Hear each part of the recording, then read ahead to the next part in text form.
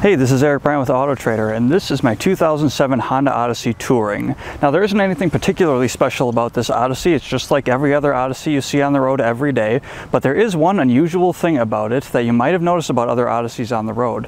To learn more about this weird quirk I'm about to show you, click on the link below and check out my column on autotrader.com slash oversteer. I'm talking about the wheels. When I bought this Odyssey about a year ago, it came with these aftermarket wheels, and I didn't think much of it at the time until I realized why it didn't come with the original Honda wheels wheels. Now this is a top of the line Odyssey Touring which has a lot of features that a lot of lesser Odysseys didn't have like a power tailgate, navigation, a DVD player, and even special tires that were specific to the Touring trim. But these were no ordinary tires. Oh no, this was a special tire system called the Michelin PAX system with run flat technology. In Honda's own words, with Michelin PAX system standard on the Odyssey Touring model, you'll enjoy a great new level of confidence driving in an uncertain world.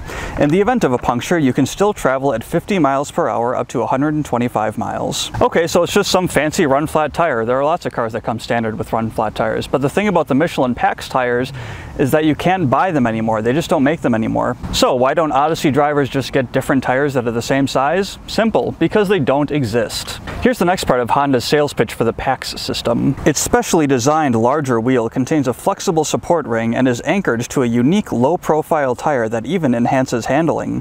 PAX system is the latest in run-flat tire technology and has been featured on some of Europe's most luxurious vehicles.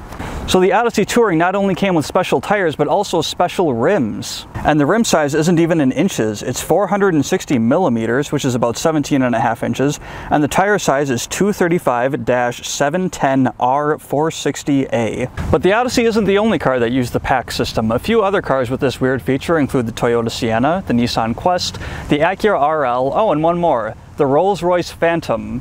That's right, three Japanese minivans, an Acura sedan, and a Rolls-Royce were the only cars sold in the US that use these weird Michelin PAX tires. As it turns out, these special high-tech tires for European luxury cars weren't even that good. There were so many complaints about poor wear performance and difficulty in getting these tires and wheels serviced that a class action suit against Honda was settled in 2008, which was the same year that Michelin gave up on the PAX system. People started noticing that you can't get these wheels and tires serviced at any old tire shop because it required special equipment and a specially trained staff. Not to mention the fact that you just couldn't buy any other tires because of the weird size. Here's another fun feature of the PAX system. Since it was a run flat tire, Honda didn't feel the need to include a spare tire.